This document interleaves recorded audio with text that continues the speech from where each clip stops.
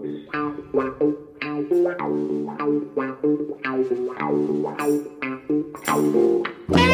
Gavin. Good evening, TC. Welcome all to Terry Curran's Football Podcast. How are you, TC? What kind of summer have you had, mate? Where are you, Sandra? You're in a pub.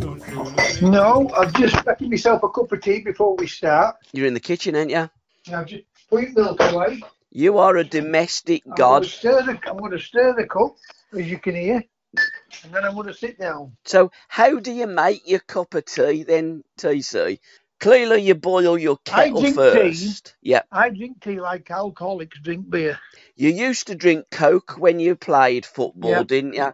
So, so has the tea since retirement replaced the no, Coke? I've always I've always drank uh, lots of tea, always have. And I used to have three sugars in it one time a day. I'm down to half now.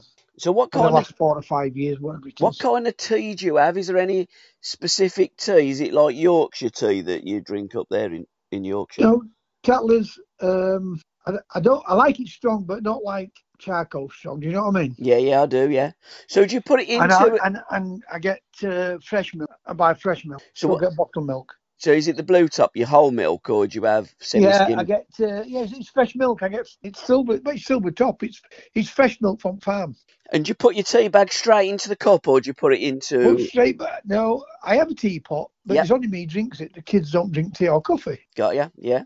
So uh, even when people come, I put it. Even though I've got a teapot, I, I just put it into to, um, cup. Let it stew for about well, stir, stir it with spoon.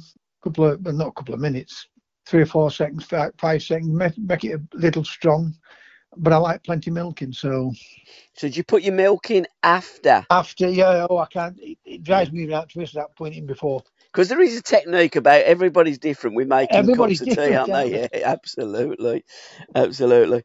Well, this is a great insight to how Terry Curran makes a cup of tea, and I'm sure that the mug you have is a Terry Curran football podcast mug Oh, as of well. course. Absolutely, TC, you're an absolute legend. You was on the pitch. You're a legend off it. Um, we always start with our magic I'm a fighter, moment. Gabby. I know you are, T. I'm We all- fighter. When I say a fighter, I'm a fighter for for the right things. I know you are. I know you are. Um, we always start with our magic moments. The football season hasn't started yet, so we can't talk about magic moments from the Championship, League One, and League Two. The Premier League, of course, kicks off the week after, and the Charity Shield is the curtain raiser. We're going to be talking about the Charity Shield a little bit later on the podcast, but let's just briefly, while we're talking magic moments, talk about the Euros because we were going to do one or two podcasts, but we were both so busy. My daughter got married. I've had loads of things on my plate, work, etc., etc., and we didn't actually cut one. But what was your magic moments of the uh, of the Euros, T? Well, there were one or two decent goals in there. Yeah, you know. Um, what was the uh, the black lad who played for for Spain? Uh, for Spain, Oh yes, the uh, the, The fella, yeah, the winger that plays on, the, yeah, you know. Um, I thought he was outstanding. Yeah. The, the maturity for the young the young uh, Barcelona player, yeah, on the other wing. you know, and uh, he scored a couple of unbelievable goals. Mm. uh, in the semi final. I mean, I'm, I'm disappointed in England in the sense that um, we were mid favourites, which you've got to listen, you've got to handle pressure. Yeah. But we never seem to handle pressure when it comes to these tournaments. Um, and I look at all the players we've had over the years, and it's not, it's not, regardless what anybody says, it's not the players' fault because if you, if you can get the right balance of the team um, and get the right philosophy and show the players what's in that team, you will go a long, long way. And we've what we've had two two uh, finals of the what, European Yeah, we have two, it? two, two Euro finals and a semi final of the World and, Cup a, and, and a World Cup final. final. Yeah. It's a semi-final, sorry. hmm Um, we still haven't named anyone yet. It looks like Carsley's going to take over for the um, for the qualifiers. Yeah. Or as in as interim. It's Nation Leagues, uh, Nation League games, isn't it? We're Is awa- it? on the seventh of September. We're away in Dublin, and then on the tenth we're at home against uh, Finland. So we got the Republic you of know- Ireland and Finland. you know as well as I do, hmm without being any anybody in football Yeah. could manage England and qualify. Hundred percent. And that's not being. I'm Mm. being honest. I'm being honest. Yeah. And being constructively uh, trying to point out that we have whoever's the manager has got the best players to pick from in England. Mm. You didn't have to buy any players, No, no, they're all there for right? you. Yeah. The qualifiers, you'll find that, that we always qualify now compared to what, what used to happen before. It's because it's all because you, you could be drawn against. You can Yeah. be drawn against one of the uh, elite uh, Euro teams, and you could be out of it. Absolutely. You know, whereas now you know you're going to qualify, Mm. uh, and then and then you'll get all the people what do good as I, want to call them, saying, "Oh, you're going to you straight away you're going to be uh, moaning." No, I don't moan and groan about England because I want England to win. Same I here. want an English coach to be successful. I want to be proud of an English coach. Yeah. What's going to produce a, a footballing performance like Spain did hmm Yeah. in a final? Yeah, yeah, absolutely. And they deserve they deserve to win it, right? So they were the best team in that tournament, I mean, you reference nico williams and they beat all the best teams. Absolutely. Yeah, you reference Nico Williams. What a player he is. We've got players like Nico Williams. We've got players in in our squad that are very, very good and comfortable on the ball. We've got one. We, we got one. We didn't take. Well, exactly. I mean, I'm I'm hoping that it does look as though Lee Carsley is going to be the the new interim manager. Um, England, the Do you think he's going to pick Jack Grealish? Yeah, I do. Yeah. Do yourself a Yeah. favour, Gabby. I'll tell you what. You, I'm sure you're sleeping on a wall somewhere. Do you not think Lee Carsley will pick Jack? No, Really? no, Oh, okay. no. Oh, right. Okay. I guarantee. Listen, Gabby. I think I think you- Carsley will. Not but what I'm trying to say to you is, Mm? They all sleep in the same bed. No, I, I I do agree with you there. You know, you there there, there is an FA tell you what he type will of do. I'll tell person. you what he will do. Go on. He'll take someone out of the under 20, under 20. What's it? What what group's he take? Under 21. Yeah, under twenty Under ones. 23s, whatever. Under twenty ones at the moment. Yeah. Right. That's what's going to come through. hmm Uh, He'll fetch a couple of because that's they, they all want to fetch some of the own people in, and that's what he will do. I would be They all in the amazed. same bed. I agree. I've They been on these football to. courses, Gabby. I've seen what they Yeah, do. yeah, yeah, yeah, Why do you think they fail? yeah. No, I- you know, I'm not disagreeing with you there. And I don't. I want them to be successful, Mhm. Gabby. But I, I, I would really want them to be successful. I, I really would do. I would be one hundred percent amazed if Lee Carsley did not name Jack Grealish in his squad. I'd be Let- let's wait and amazed. then, eh? Yeah, Shall we absolutely. We'll And- see who's right. And and again, with when we used to watch the under twenty ones, but they've all they, they've gone on now to iPlayer and stuff like that because we don't broadcast. I mean, we did win the what was it, the World Cup or the Euros, the under twenty ones, uh, but it wasn't being broadcast. Um, largely because there is no broad TV rights to broadcast an under 21s tournament now. They do find the money to broadcast the women's tournaments, but not the under 21s. It is a big gripe, and we have touched upon that on Listen, the podcast last season. Gabby, Gabby, all that is Mhm. to do with wokeness of, the, of of life. Well, can't again. I can't disagree. Why can't we? Mm. Why can't we? Why can't a manager, an English manager, Mm, do what any other European team clubs do? mm, Right? Look at Foden or look at Jack Grealish. Yep. mm, Right, Jack, go out and play. Yeah. Right, mm, but work hard in between that when we haven't got the ball. 100%. Because I believe in you. Yeah, absolutely. Just, Yeah. I mean, he, there's so much trust in it, and on a 16 year old kid. Mm, yeah, I know he's nearly 17. I get that, yeah. He's 17 now. right? Yeah. How did, Gavin, Jack Grealish is petrified of making a mistake. He's certainly changed his game as as we've talked He's many petri- times. Yeah. Gabby, I'll tell you, he's, he's petrified Yeah. of making a mistake. I'm hoping that Jack has a big season next season, and I think he will come back good. I think he'll be one of the stars of the Premier League next season. But again, That's By the just way, I'm my not opinion. criticising him. There's No, I know you're not. more than me. Absolutely, one hundred he percent, to play. hundred percent, eh? hundred percent. But I do, I do every think, football club I joined, every football club, Yeah. I tell you, let me tell you all now. Mhm. Every football club I joined, everyone, right? Yeah. You have to walk in that dressing room hmm and show them that you're up there. Yeah. You have to show them. Mhm. Now, when I got when I went to Everton, there's some big players there. Yeah. Right. And I didn't play a lot at Everton, not because I weren't good enough to play. Mm. I got a bad injury and the team went on to be successful. But when I joined them, they were second bottom at league Mhm. or third, whatever it was. Mhm. I mean, the, 10, 11, 12,000 people. yeah, the, the mood in the dressing When I room went was in poor. there, Yeah, I want the ball, give me the ball. No. absolutely. And then when I got it, I ran with the ball to go and beat people. Yep. And everyone, when I joined Forest they were in second division, Mm. I was part of that team, that squad, what got them into first division, You were on the plane when they got promoted. right?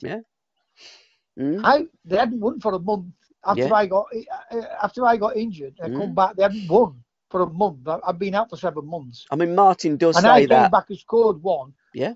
At, at Hereford, but every club I've been at, Mm. my record, Yeah. I have won more games than I've lost at Yeah. every club I've been at. Absolutely, and and and, and That's Pete, a fact, that by the way. That. Peter Reid, Andy Gray, any of your former teammates at Everton would back up what you've just said. And in Martin O'Neill's book, Martin does reference you and and, and talks about how valuable you were to that Nottingham Forest team. And it was it was John Robertson really that was doing the uh, the water carrying job. It was Terry Curran that was uh, making all the ground for Nottingham Forest. And when you got injured, But it, the wheels did a, come off the but wagon. It is a team. It is a team game. My hundred percent, my yeah, my uh, strengths were to run at people and, and, and cause havoc, absolutely. right? Create By God, or did you? score a goal. Yeah, yeah. Now Jack can do that if the manager gives him confidence. Again 100% and I'd like to see Guardiola play Jack more centrally in the middle of the park because for me that's what Grealish is is a central midfield player. Is not a winger. And I've been saying that for years and years and years. And hopefully both Guardiola and Carsley for how long he's got the gig if if he does get the gig will give Jack that confidence to go and play football his natural game and I think if Grealish does, Do we've got one of the best players in the world. Bellingham's a number ten? No. I, Right. you know me, T. I'm not a massive I- fan of Bellingham. I saw him as a kid Yeah, against Portsmouth. Birmingham Against Portsmouth. playing Yeah. Portsmouth, Mhm. and I, and I tell you, Mm. he's not in the same league as Zidane. No, 100%, no way. Now, when you when I say that, I'm not. What I'm trying to say is, you know, give him another. What is it? Twenty? I'm sorry, Bellingham Give could not lace. years. When he gets to 23, then he could be. But he's not a number ten. No, but he couldn't lace. He couldn't lace Zidane's boots. He's nowhere Right? near the ability of Zidane. 10, Well, I'm not. I I never have. What he should have done Mm. was take, well, take Jack and play Jack in the 10. 100%. or play Foden in the 10. Yeah, hundred percent. I mean, I, I'll tell you now, right? I, I mean, but ball hasn't been kicked in in La Liga. I I I think this is going to be a massive season for Jude Bellingham, and I wouldn't be surprised if he didn't start many games this season because they've brought in some magnificent players. And I look at Bellingham, and I've said for a long, long time, I I don't see him in the light as most English football supporters see Bellingham. I think he's a good player, but I don't really know what Don't knock Bellingham the- is. I'm not going to knock the fans because the fans get. No, hundred percent. The fans get. Yeah, but Gabby, get the fans get taken. Of course they the do. Media, Of course by they the do. media. Hundred percent. If you ask any of those 100%. teams what were in that European Championship, Yeah, yeah, yeah. and you ask any of those them teams, Hmm? how many players you're going to pick out of England? On the way that they performed in the Euros, I wouldn't pick any of them. Well, obviously they're not. Yeah. They're not. I get, they might say. They might say Bellingham. They might say Bellingham. They probably would. They, hang on, but they might. Yeah, I agree. Foden would walk into any team in that what were in that European champion. Again, I agree with you. with any with any other foreign coach. Yeah, Hundred percent. Absolutely, hundred percent. On his, on his performances, none of the players would, but we know that them players are better than them performances, and largely because of an inept manager who was far too negative, suppressed the natural abilities of our footballers to go and play football on the front foot, and that's what I hope that Lee Carsley does. He certainly set his under twenty ones up in a positive manner, Do I, and let's hope he can do that for the full team. do I blame him or do I blame the committee? I blame I'm Southgate. sure, I'm sure, uh, you know, who were I talking to? Oh, talking to Neil Redfearn the other day Mm. to Doncaster Bell. Yeah, I saw some great, uh, some great and he was too. talking about, and he was talking about uh, when he was managing Leeds, and the owners are telling him what to do, Mm, and they had a player, and I heard about this from other Yeah. people, mm, and he confirmed it. Yeah. Uh, if he played six more games, Mm, they'd had to give him another contract, yeah, yeah, yeah. and he finished up putting him on uh, for the last ten minutes, and he scored two. He was telling me. Yeah, it, happens all the time in I football the player now. I mean, If Tom to- wanted, Tom had named the player. it's littered. Football is littered. You go, well, why ain't he playing? It's probably something in his contract that if he does play a certain amount of minutes and games, they've got to pay him more money or got to pay the other club more Yeah, money. but why put it in his contract? Because that's lying to the kid. Exactly, but that's what they do. No, Gabby, you can't tell me. Uh, no, I know I can't. You all. I Now know. you know what goes off in that dressing room Yeah, no, before you go out to play. I've seen it. absolutely, T. And nothing ever changes.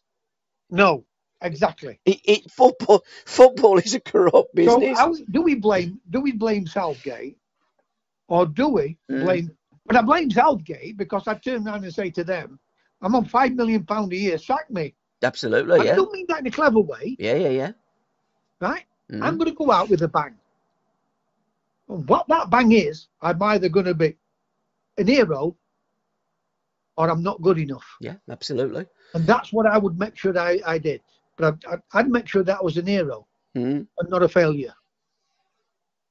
100%. And, and Gareth Southgate, again, on every big test he's had, he's come up he's come up short. On No, he's every, failed. Yeah, he has. He's come up short on every big test that he's Look had. how we got through. We were favourites to win it. Look how we got through to a final. Both both draws that we had, it was almost a free Who hit. did we really play? No one. We didn't in the World Cup. And by we the didn't way, in the Euros. those teams, those teams that we played, we had to come back, come, come from behind. I think Of course, twice. of course we did because the way he sets us up and the way he's so far too negative. Gareth Southgate has been getting away with it for about six years, at least six We're all years. talking about him being Man Listen, if he'd have been, I'd have been Prime Man, Minister of this country. yeah, if you- we, He'd have got Man United's job. to, to be fair, I think you would make a good prime minister if I'm absolutely honest, and I think you would make a better Man United uh, manager than Gareth Southgate. And I do believe if Gareth Southgate was given the manager's job of Manchester United in August, I don't think he'd see Christmas because I think you'd have an absolute revolt by the United fans on his boring and negative way that he sets his teams up to play I'd have football. him a month. Well, he Well, he probably would have got a job anyway. So no, no, he that- wouldn't. a- No, he wouldn't got- absolutely. I said, Thomas said to me, he's talking about money. uh, Thomas, stop listening to papers. Mm. There's no chance of him getting the manager's job. Not So, listen, there was more chance in his job than The- Southgate getting it. if you look at the top, say, 10, 12, maybe 20 teams in Europe, Southgate does not get near any of those teams. Take take Kevin Venables out of the equation. Yeah. Look at every manager we've had, Mm, right? Or take the 92 clubs and take all the take put all the British English lads in, mm, and we all play the same way. Yeah. Whether it's a long ball mm. or keeping the ball. Yeah, yeah, Because yeah. when we keep the ball, it's slow, sideways, backwards. Mm, When it's a long ball, when we play the long ball game, it's, there is nothing new about it. There is nothing that you No. can say he's going to turn that. You look at Jack. You look at um, Foden, who I absolutely love. yeah, I think I, I, I Right? do we as well. got Jack him, so I love Foden. Mhm. He's there, right? You look at him and you think, well, he's capable of changing the game. 100%, and he plays never on the looks left wing. like changing the game playing for England. No, not at all, no. John Barnes, world class player, Mm, goes for England, doesn't look like changing the game. absolutely. I, I remember Ron Chris Waddle, Chris Waddle, Mm. absolutely. When he went to play for Marseille, Yeah. Chris Waddle was unbelievable. Unplayable. Out of this world. Out of Yeah. this world. Fantastic player. World Right? class. And they loved him in Marseille. Mm. Loved him. Yep. Right? He Yeah, he goes for England and it's plays one, it missed missed two, three. Yeah. You know what I mean? Yeah, I do, yeah. I- Eng- And then they say he's not no, he's not, it's not it's not to do that's how that's how much they understand the game. Absolutely. I- Inconsistent. Players are inconsistent because the team's inconsistent. yeah, of course they are. And the way that the manager sets Not the, the team players, up. the no, team's inconsistent. Yeah, because of the way the manager sets the, the team up and tells the players how to play football. I remember, They all play the same way. Yeah. They all play. All the British managers play the same way. I re- the same way. I remember Ron Atkinson telling me when he went to watch Laurie play for England after the game, he said, Laurie, why did you play like that? You don't play like that for me. And he said, Boss, that's how the gaffers told me to play. And, and you've always maintained that. You're absolutely right, T. As fans, we have not got a clue what goes on. The players are told to play a We certain talk- way, and they play that way. amongst us. We talk amongst ourselves, the fans. Yeah, of course we do. And you hear it in pub, you hear it everywhere else. They'll say, you know, he's a right player for Germany. He's Yeah. a right player for Spain. Yeah, He's a right player for France. yeah, stick him in the England team. He'll look shit. And then we look at we look at us and we think, what, what's happened to what's happened to Foden? What's happened to Jack Grealish? And Yeah. what's I mean, we talk about Declan Rice Yeah. being uh, one of the top midfield players in the world. Again, I have to stop you, think you can TC. I have to stop Who you are there. these people Yeah. kidding? I have never ever seen anything in Declan Rice that I would put him in my team in midfield. I don't rate Declan Rice. I don't rate. I don't rate Rice. I've never rated Phillips, and I don't rate Bellingham. And we seem to rate the players that I absolutely don't rate. And you know, either they're right and I'm wrong, or I'm right and they're wrong.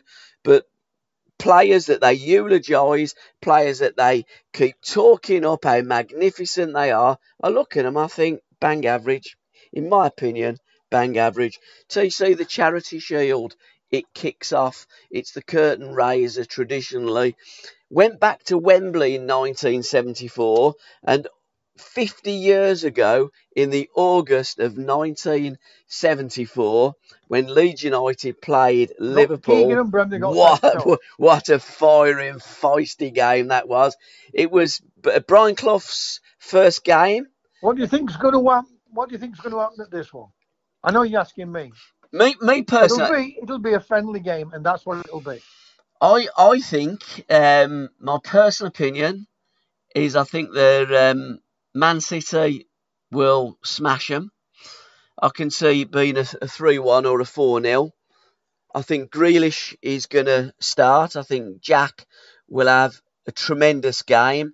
I think it's going to be a, a new beginning for him. I think Pep's always done this with players. He's, done it with Aguero, he's done it with Bernardo Silva, he's done it with um, Phil Foden, and I think he's done it with Grealish. I think Grealish is going to come back. And I think he's going to really answer his critics and shove it right down their gobs. This, and I think it'll start at Wembley on Saturday, 3 He has o'clock nothing to prove, though, Gabby. No, he doesn't to He to us, He has nothing to prove. but but, But to like lots of fans, you look at lots of fans. think to yourself, Mm. why, Jack? Just, you know, you're a multi-billionaire, Mm, and I'm not saying disrespect your manager, right? Jack always thought that I didn't listen to him. I listened to everything. My brain's telling me one thing, mm, and other side of my brain's telling me what Jack said to me, yeah, yeah, yeah. right? Mm, But I didn't. I never got dropped because I was playing bad ever, no, ever. no. Not at Forest, not at Everton, Mm, ever, ever. mm, So tell them all that, every one of them. Yeah. Right? I didn't get in because the team were doing well. Yeah. And they were winning. absolutely. And they didn't change it like they change Mhm. it nowadays. No, I mean, again, that's the one thing in the game today that has changed. They have got 25, in terms of Man City, international football players, where you guys had squads of 14, maybe 16 players, and, and there was no rotation. There was far more games being played in your days on far heavier pitches. It, it baffles me when everybody, even players, talk today. Mm. And they'll turn around and say, well, games that they play now, Yeah. pitches are better. The, the diet's better. Yeah, yeah, yeah, absolutely. right? Mm. Um, the pitches are better, the diet's better. The, The, boot, the, training the boots are. Yeah, the boot, the, the boots are. The balls are, are, lighter. I mean, every, everything's conducive to a quicker game of football. But then you players of yesteryear, you were far more fitter than and what they nobody's are. getting kicked up air. Eh? Absolutely, yeah. There's no jeopardy. It's a, it's a quite a sterile and boring game compared to what it was in the 70s. And we go back to that Charity Shield.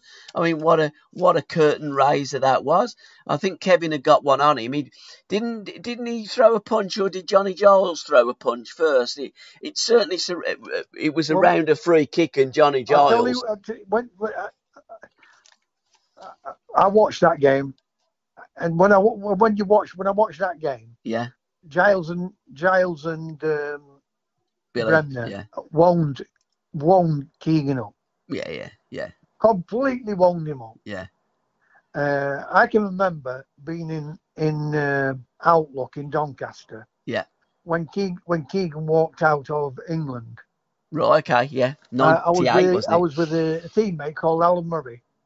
Yeah. Uh, and we were watching um, Medicine Head, Okay, yeah. uh, a little duo called Medicine Head. Right. Um, Revie must have phoned his mum up, Keegan's mum, because he walked out and gone up to Doncaster. hmm And Maurice Setters come into to nightclub. And uh, we were sat with Keegan and uh, me and Alan Murray sat with Keegan. And then he, uh, Morris came in, said, can, must have said to him, ba, ba, ba, can you give Revie a ring? And that type of thing. hmm Right. So I know he got that about him where if things are not going his way, he's not he's, he's not playing. And I don't mean that in a nasty way. Yeah. Right, because he walked out of Manchester, he walked out of um, England. So when you're saying he walked out on England, when walked out uh, as a player or or when he was the manager? Well, he walked out as a player. Yes, Yeah, he walked out as a player. Yeah. Right, and he did the same thing as a manager. Gotcha. So- yep. Bremner and Giles had wound him up that much. Yep. Right. Get little having digs at him. Mm. Uh, and if he retaliated, they both got sent off. Yeah. But he walked out as a player with England. I Mm. don't know what had gone off. But Keegan had always had that This fiery. this was this war.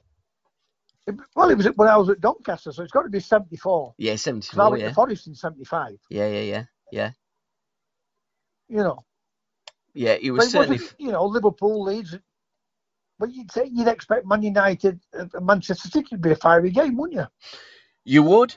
Again, going back to the way that it was back in the 70s, every game was was more competitive. There always seemed to be a little bit more on it. Bit of needle, bit of, you know, amnesty between the players. As you said, you, they used to kick you up in the air, so it wasn't so much of a, a gentleman and a, and a friendly game. Even the big games these days, some of them are swapping shirts at half time. No way would you have ever got anything like that in the 70s. And in that Charity Shield, there, there, there was, uh, I mean, it was almost like murder ball at times, wasn't it? The challenges would be going in. They got like so, But Tommy I don't, I don't, I don't mind them swapping. I really don't mind swapping shirts. I don't mind what colour boots they wore. I, I wouldn't. No, I don't but- mind but- people but- wearing gloves. but But not at half time. But it's typical. Listen, I played at Southampton. We played at Reading. Yeah.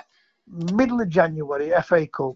Yeah. Right. Absolutely bitter free, freezing. Yeah. Not like it is now. hmm We used to get bad winters. Yeah. Right, and we got the long sleeve shirt and the short sleeve shirt. Yep. And I put my long sleeve shirt on. Mm. And McMenemy's having a right dig at me mm for, for putting a long sleeve shirt on. Because everybody else had got short sleeves on. And, but why does English always do that? Don't know. Don't know. I mean, I'd it be, I'd, baffles me. I'd, I'd be having a somebody's got a pair of white boots or a pair of pink boots. yeah. Good. Let them crack on with And if they don't play well, what's the first thing to do? Like the Blake boots. Of course they do. Yeah, Because he's wore pink boots. yeah. They'll always find an excuse. A load of rubbish. I know, absolutely, T. Complete rubbish it is. Legends of the 70s, Kevin Hector, who played in the Charity Shield the year after in 1975 when Derby County won the league. They were champions and um, they played West Ham United that won the FA Cup. But Kevin Hector, uh, born Kevin James Hector in Leeds on the 2nd of November 1944. Started his career at Bradford Park Avenue, 62 to 66, scoring 113 goals in 176 games. Moved to Derby County in 66, the year. Stayed there for 12 years till 1978. Scored 147 league goals in 430 games. He went over to Vancouver and scored 39 in 63 in the NASL, which is a tremendous return. And to listen to the rest of this podcast, head on over to www.patreon.com forward slash SRB Media. Thank you.